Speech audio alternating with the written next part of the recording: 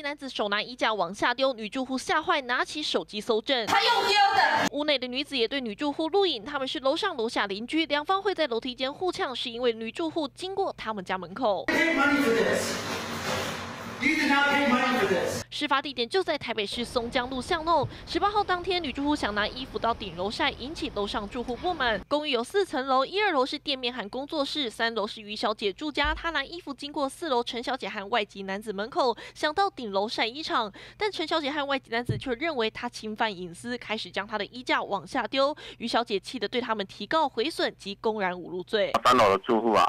觉得是说，当下那个四楼住户，包括他的外籍男友哈，有对他有那个衣架有毁损，也有有那个怒骂等情啊。衣架被强硬往下丢，于小姐担心家中小孩受到牵连，已经托付家人照顾。警方也依照程序办理提告。一场楼梯间的使用权，让楼上楼下邻居都撕破脸。记者杨子健、吴子怡台北市报道。